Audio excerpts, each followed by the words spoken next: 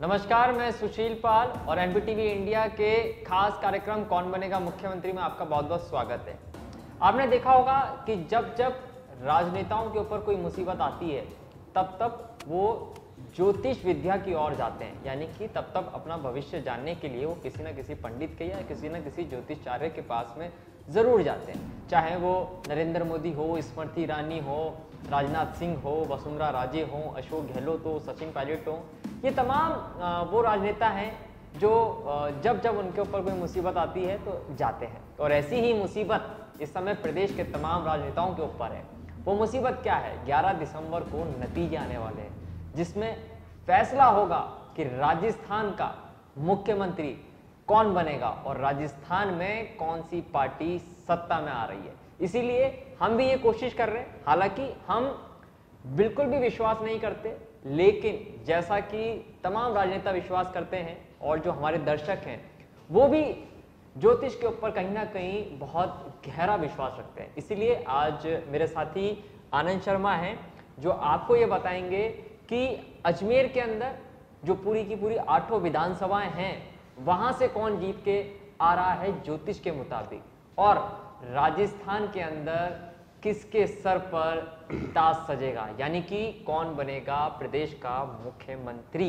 ये तमाम बातें आज हम आपको बताने वाले हैं। सबसे पहले शुरुआत हम करते हैं प्रदेश के अंदर स्थिति क्या रहने वाली है? आनंद जी बहुत बहुत स्वागत है।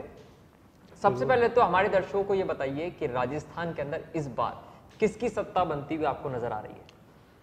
राजस्थान में इस बार जो सत्ता में आएगी वो कांग्रेस पार्टी आएगी और कांग्रेस पार्टी में भी हम अगर बात करें तो कांग्रेस पार्टी को ज़्यादा से ज़्यादा 107 या 108 सीटें मिलेंगी।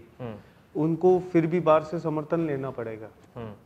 और उसके बाद ही वो सरकार बना पाएँगे। हाँ, 107 से 108 यानी 110 सीटें हम मान लेते हैं कि कांग्रेस पार्टी हाँ, 110 इससे इससे ऊपर कांग्रेस पार्टी नहीं आनी। नहीं आएगी। नहीं आएगी। लेकिन कई एग्जिट पोल ऐसे भी आए हैं जिसमें ये कहा गया है कि बराबर दोनों पार्टी की टक्कर रही है यानी किसी ने 95 दिखाया किसी ने 98 दिखाया। क्या जो थर्ड फ्रंट था हाँ। उसके साथ कुछ समझौता होगा गठबंधन होगा या स्पष्ट बहुमत से कांग्रेस सरकार बना लेगी? स्पष्ट बहुमत तो दोनों को मिलता नहीं दिख रहा बीजेपी और कांग्रेस को ज्योतिषीय गणना से। हाँ। और रही इनको थर्ड फ्रंट का सहयोग की ज़रूरत पड़ेगी। और मेरे हिसाब से पंद्रह निर्दलीय जीत कर आने को तैयार है। पंद्रह निर्दलीय इस बार हमें देखने को मिल सकते बिल्कुल हैं बिल्कुल को। बिल्कुल। अच्छा एक बात बताइए अगर भारतीय जनता पार्टी की यानी कि सरकार बनती है मान लीजिए हम्म, तो फिर मुख्यमंत्री क्या वसुंधरा राजे रहेंगे? या उसमें बदलाव होगा? क्योंकि कहीं ना कहीं प्रदेश में सबसे बड़ी बात यह है कि अभी बृहस्पति अतिचारी चल रहे हैं। बृहस्पति सामाजिक व्यवस्था और सामाजिक कार्य के कारक है राजनीतिकता में ज्ञान के कारक हैं। तो वो भी अतिचारी है। मतलब कि एक बॉस गुस्से में होता बॉस इज़ ऑलवेज राइट होता है कि मैं तो ये करूँगा ही करूँगा मुझे कोई रोक ले। तो अभी उस हिसाब से तो मुझे नहीं लगता कि मुख्यमंत्री दोबारा वसुंधरा राजे तीसरी बार बन पाएँगी। क्योंकि उनके जन्मकालीन का जो सेकंड है उसका तीसरा टेन्योर खत्म हो गया। हम्म, क्योंकि हम ऐसे कई राजनेताओं के जीवन पर आएँगे जिन्होंने साठ और सत्तर के करीब हैं जिन्होंने क्रॉस कर लिया। एक आदमी के जीवन में साढ़े ही तीन बार आती है। हम्म, अधिकतम तीन बार। हम्म, कई जने दो बार ही देख पाते हैं। तो अधिकतम तीन बार आती है तो इनके तीसरे टाइम का टेन्योर खत्म हो गया। हम्म, तो अब इनकी जो सेटन और जो वीनस से जो राजयोग बन रहा था वो खत्म होने पे है। हम्म, तो दोबारा तो मिलना ही मुश्किल है। हम्म। अच्छा अगर कांग्रेस पार्टी की सरकार प्रदेश में आती है हम्म। तो फिर मुख्यमंत्री कौन होगा? क्योंकि अशोक गहलोत भी हैं रामेश्वर डूडी भी हैं सचिन पायलट भी हैं वहाँ किसको देख आपका ज्योतिष बता रहा है? इस बार क्या है कि जुपिटर का वृश्चिक राशि में गोचर है और सेटन उससे दूसरे हाउस में गोचर कर रहा है। तो इस हिसाब से ये है कि किसी युवा के हाथ में व्यवस्था जाएगी। रामेश्वर जी डूडी और आप बात करें कि अशोक गहलोत ये दोनों अपनी एक पूर्ण प्रौढ़ अवस्था में हैं। तो शायद मुझे नहीं लगता कि इनके हाथ में बागडोर किसी स्तर तक जा पाएगी और सचिन पायलट एक नया चेहरा देखने को मिल सकता है या सचिन पायलट के अलावा कोई दूसरा युवा हो सकता है। लेकिन युवा के हाथ में ही जाएगी बागडोर कोई भी। हो आ, ये आ, जो ज्योतिष के अकॉर्डिंग बता रहे हैं मेरे मित्र आनंद वो ये कह रहे हैं कि कांग्रेस पार्टी अगर जीतती है तो सचिन पायलट कहीं ना कहीं मुख्यमंत्री बन सकते हैं। लेकिन आनंद अजमेर में यदि हम विधानसभाओं की बात करें तो मैं सबसे पहले ये जो चिट में लिखा हुआ है अजमेर दक्षिण और अजमेर उत्तर की सीट पर हम बात कर लेते हैं। तो यहाँ पर अजमेर उत्तर के ऊपर स्थिति आपको कहते हैं कि कांग्रेस पार्टी जीत कर आ रही है या भारतीय जनता पार्टी यहाँ पर आ रही है वापस से? यहाँ कांग्रेस पार्टी आ रही है। हाँ। अजमेर उत्तर में। हम्म, वासुदेव देवनानी जी की जो कुंडली है उसमें चंद्रमा भी उस समय भी जब मतदान हुआ तो उनके नीच राशि में गोचर कर रहा था। हम्म, और जिस समय ये इनका जुपिटर भी खराब स्थिति में चल रहा है और सेटन भी हम्म, और इनकी साढ़े सात ही चल रही है समाप्ति की ओर है। हम्म, शनि की। शनि की। हम्म, तो मुझे नहीं लगता कि ये तीसरी बार के बाद चौथी बार चुनकर आएँगे। अच्छा। हाँ। और अगर आपके ज्योतिष अकॉर्डिंग करें तो महेंद्र सिंह रलावता महेंद्र सिंह रलावता आ सकते हैं। अजमेर उत्तर से उनके चांसेस बन रहे हैं आपके। उनके चांसेस बन रहे हैं। अजमेर दक्षिण की अगर हम बात करें तो हेमंत पार्टी और अनिता बघेल दोनों में से आप किसको देख रहे हैं? बीजेपी या कांग्रेस? यहाँ पर क्या समट आ, बनते हुए आ रहे हैं चांसेस आपके? क्योंकि हेमंत बाटी के फिफ्थ हाउस बड़ा खराब चल रहा है अभी गोचर के हिसाब से। और सिक्स हाउस भी इसका खराब चल रहा है। हम्म, तो मुझे नहीं लगता कि हेमंत बाटी को भी मतलब कि तीन या चार प्लेनेट अभी उनके खराब चल रहे हैं बुध भी खराब चल रहा है। हम्म, तो उनका जीत के आना मुझे तो बहुत मुश्किल लग रहा है। क्योंकि हो सकता है उनको भीतरी शत्रुओं के साथ साथ एक ग्रह है जो ये कह सकते हैं कि गुप्त शत्रुओं के बारे में बताता है। हम्म, तो उससे भी नुकसान का बहुत आलंकन है। तो हम ये कह सकते हैं अनीता बदेल का जन्मकालीन बृहस्पति और शुक्र हम्म। वो बहुत अच्छी स्थिति में है और इसी के कारण उनको डायबिटीज़ भी है। अच्छा। बेसिकली हाँ। क्योंकि मैं पहले उनकी कुंडली देख चुका हूँ। तो उनकी स्थिति बिल्कुल तटस्थ है हम्म, वो निकल सकती हैं। हम्म, यानी कि वापस से वो इस बार वो वापस से आ सकती हैं। जा सकती हैं। अच्छा यही बात अगर हम आ, दूसरी इस पर्ची में हम बात करें केकड़ी की सीट पर अगर हम आते हैं तो रघु शर्मा कांग्रेस से हैं और राजेंद्र विनायका भारतीय जनता पार्टी से यहाँ पर क्या स्थिति बनती हुई नज़र आ रही है? इनके जन्मकालीन शुक्र की स्थिति भी अच्छी है और अभी प्रेजेंट में शुक्र ने इन्होंने जब चुनाव जीता रा- तब इनके हाँ लोकसभा का।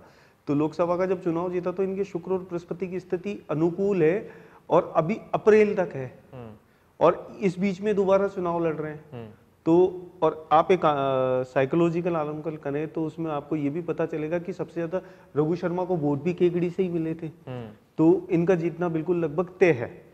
एक ज्योतिषी गणना से और राजनीतिक गणना से। पुष्कर की सीट पर हम आते हैं जिसमें नसीम अख्तर कांग्रेस से हैं और सुरेश सिंह रावत भारतीय जनता पार्टी से। यहाँ पर क्या स्थिति बनती हुई नज़र आ रही है? जहाँ तक मुझे ये लगता है सुरेश सिंह रावत निकल जाएँगे और क्योंकि नसीम अख्तर के मेरे हिसाब से बृहस्पति और सेटन दोनों ही खराब चल रहे हैं हम्म, वर्तमान स्थिति में। और इस कारण उनका जीत पाना मुमकिन नहीं है।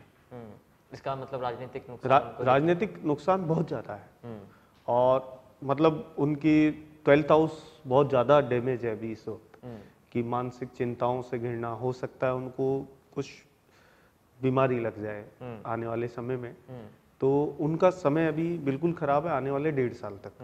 तो लगभग मैंने उनकी भी कुंडली देखी है तो एनालिसिस के हिसाब से ये है कि वो उनका जीत पाना मुमकिन नहीं है। यानी कि पुष्कर विधानसभा से सुरेश सिंह रावत जीत सकते हैं। हाँ दूसरी बार देखेंगे हम उनको। दूसरी बार जीत सकते हैं। हाँ। नसीराबाद सीट की यदि हम बात करें तो रामायण गुजर कांग्रेस पार्टी से हैं और रामस्वरूप लांबा भारतीय जनता पार्टी से हैं। यहाँ पर क्या स्थिति आपको नज़र आ रही है? आपके ज्योतिष के मुताबिक। ज्योतिष में एक दोहरा गोचर नाम की चीज़ होती है। मतलब बहुत कम लोग जानते हैं इस विषय में। जब प्लेनेट दोबारा जाकर और वापस उसी अवस्था में आता है। हम्म, तो रामनारायण जी गुजर की जो कुंडली है वो मैंने पहले भी देखी है। तो अभी उनकी कुंडली में एक दोहरा गोचर चल रहा है। हम्म, मतलब कि बृहस्पति वापस जाकर वापस आएगा और उनको इस चीज़ की अवस्था का फ़ायदा मिलेगा। हम्म, यानी कि दोहरा गोचर उनके लिए लाभदायक है। लाभदायक है। इसलिए उनकी कुंडली में उनको दोबारा चुनकर आने का हम्म, दूसरी बार हम्म। मौका मिलेगा। मौका मिल सकता है ब्यावर की सीट पर हम आते हैं। ब्यावर विधानसभा के अंदर पारसमल जैन है कांग्रेस पार्टी से चुनाव लड़ा है और शंकर सिंह रावत भारतीय जनता पार्टी से हैं।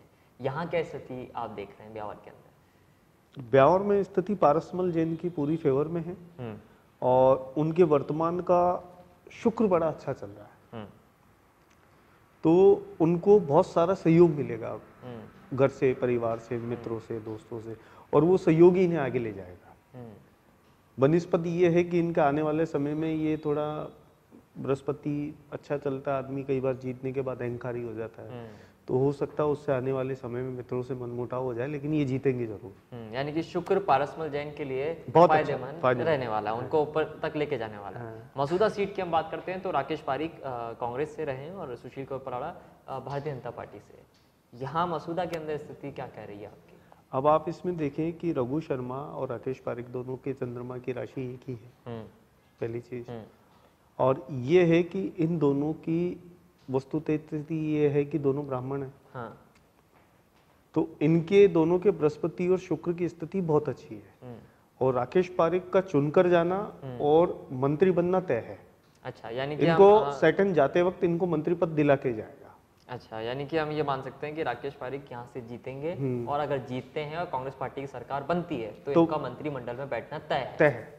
ठीक है ये एक नई बात है। आठवीं विधानसभा में जो अभी अ, मेरे साथी आनंद बता रहे हैं कि राकेश पारिक अगर कांग्रेस पार्टी सरकार बनती है और राकेश पारिक जीतते हैं तो इनका मंत्रिमंडल में बैठना तय है। आखिरी सीट किशनगढ़ की सीट है जहाँ पर बीजेपी से विकास चौधरी ने चुनाव लड़ा और कांग्रेस से नंदाराम मैदान में आए और उसके साथ में एक कड़ी टक्कर सुरेश टांग का नाम भी इसके अंदर सबसे ऊपर आ रहा है निर्दलीय के तौर पर। किशनगढ़ में आपको स्थिति क्या नज़र आ रही है? सुरेश टांग जी की कुंभ राशि है और मैं उनसे व्यक्तिगत परिचित भी हूँ और उनकी जीत का आधार सबसे ज़्यादा मज़बूत है। हम्म, इनका जन्मकालीन सेटन और बुद्ध बहुत बड़ी स्ट्रॉन्ग स्थिति में है। ये मतलब कि हम ये कह सकते हैं कि इस बार ये जीत कर जाएँगे और इन्होंने जिस आधार पे वोट भी मांगे कि मैं जनता के लिए काम करूँगा और इनकी छवि ये भी मानी जाती है कि ये लोग मतलब इन्होंने किशनगढ़ के लिए बहुत कुछ किया है लोगों की सहायता की है तो एक इनकी उदारवादी छवि है। और इस हिसाब से ये मुझे लगता है इनका बृहस्पति और बुद्ध और सेटन ये तीनों बहुत अच्छी स्थिति में है। हम्म, तो ये इनको जिताकर ले जाने के लिए सक्षम है। और ये पहली सीट होगी जिसपे निर्दलीय निकलेगा। हम्म, अजमेर आठों विधानसभा की पहली सीट जिससे हम पंद्रह हाँ। पंद्रह जिन लोगों की बात कर रहे हैं कि जो पंद्रह लोग बाहर से सपोर्ट करेंगे हम्म, चाहे कांग्रेस हो चाहे बीजेपी हो उनको। हम्म, तो उसमें एक उसमें एक सुरेश भी है। हम्म, उसमें सुरेश टांग भी यानी इनके तीन गिरे जो आप बता रहे हैं पॉजिटिव में है वो इनको जीत की ओर ले जा रहे हैं। बिल्कुल। आ, ये पूरा ज्योतिषीय आंकड़ा है। अजमेर की अगर हम आठों सीटों की बात करें तो जिसमें से एक सीट आपने मसूदा की जो है वहाँ से आपने राकेश पारिक को कहा कि मंत्रिमंडल में चला जाता है। मान लीजिए कांग्रेस पार्टी जैसा हमारा आकलन अभी तक जो ज्योतिष के मुताबिक आप बता रहे हैं अगर ये सही रहता है तो इन आठों विधानसभा से मंत्रिमंडल में जाने वाले कौन कौन से लोग होंगे? आपके मुताबिक जिनके ज्योतिष के अकॉर्डिंग आपको लग रहा है कि गिरे बहुत तेज हैं। सबसे पहले तो राकेश पारिक और दूसरे सुरेश तांक हम्म, क्योंकि मुझे नहीं लगता कि बहुमत भारतीय जनता पार्टी या कांग्रेस दोनों को पूर्ण मिल पाएगा। हम्म, और जहाँ तक है कि भारतीय जनता पार्टी को 80 पिचासी या 90 सीटों तक संतुष्ट रहना पड़ सकता। है। और 105 के करीब या 106 या 7 के करीब कांग्रेस पार्टी को संतुष्ट रहना पड़ सकता है। तो ऐसे में इनको बाहर से समर्थन की आवश्यकता पड़ेगी। और ऐसे में जो आएँगे वो मंत्रिमंडल में जाएँगे। ये एक साइकोलॉजिकल एनालिसिस है। और हम इसमें ये कह सकते हैं कि सुरेश ठाक अगर समर्थन उन्होंने पहले भी कहा है कि मैं उसको समर्थन करूँगा जिसकी सरकार होगी। तो ज़ाहिर सी बात है जिसकी सरकार होगी और उसको निर्दलीय अगर समर्थन करेगा तो मंत्री बनना तय है। हम्म, क्योंकि उनके समर्थन से सरकार बन रही है। हम्म, तो सुरेश ठाक और राकेश पारिक इन दोनों के जन्मकालीन सेटन बड़ी स्ट्रॉन्ग स्थिति में हम्म, क्योंकि इनको जाति वक्ती सब कुछ मिल रहा है। अब आपने रघु शर्मा को भी जीतता हुआ बताया पारसमल जैन को भी आप बता रहे हैं महेंद्र सिंह रलावता को भी बता रहे हैं। क्या इनकी कोई जगह नहीं है मंत्रिमंडल में? इनके इनको अगर जगह मिल सकती है तो वो अगले साल दिसंबर में। हम्म, एक साल का इनको ए, एक। साल का इंतज़ार करना पड़ेगा।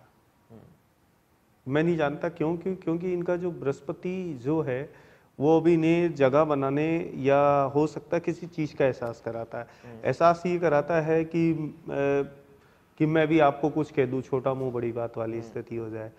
तो ये क्या है कि जीतने के बाद जैसे मैंने आपको कहा कि अगर जीतने के बाद अहंकार आ जाए जैसे पारसमल जैन की बात करें इनका बृहस्पति ऐसे ही चल रहा था। तो ऐसे रघु शर्मा जी का भी जन्मकालीन बृहस्पति और शुक्र बहुत अच्छा है। वो मिलनसार भी हैं। लेकिन कई बार वो कड़वा बोल जाते हैं हो सकता है उसके कारण उनको इंतज़ार करना पड़े और इंतज़ार साल भर का हो या हो सकता तीन साल का हो। क्योंकि एक प्लेनेट के टेन्योर में कम से कम चौदह महीने का फ़र्क पड़ता है। तो हो सकता अभी से चौदह महीने का फ़र्क पड़े। आ, ये थे आ, हमारे साथ आनंद शर्मा जिन्होंने ये बताया कि आठों विधानसभा में ज्योतिष के मुताबिक क्या स्थिति रहने वाली है और प्रदेश में अगर सरकार कांग्रेस या भारतीय जनता पार्टी जिसकी बनती है तो मुख्यमंत्री पद के ऊपर किसके बैठने के आसार लग रहे हैं ज्योतिष के मुताबिक। खैर 11 दिसंबर को हम सुबह से ही सात बजे से आपको मतदान की तमाम जानकारी देने की पूरी कोशिश करेंगे जिसके लिए आप एम पर विज़िट कर सकते हैं और साथ ही हम कोशिश करेंगे कि पूरे दिन आपको एमटीवी इंडिया के स्टूडियो से लाइव प्रसारण के ज़रिए आपको बता पाएँ कि आखिर पूरे राजस्थान में किस विधानसभा में क्या स्थिति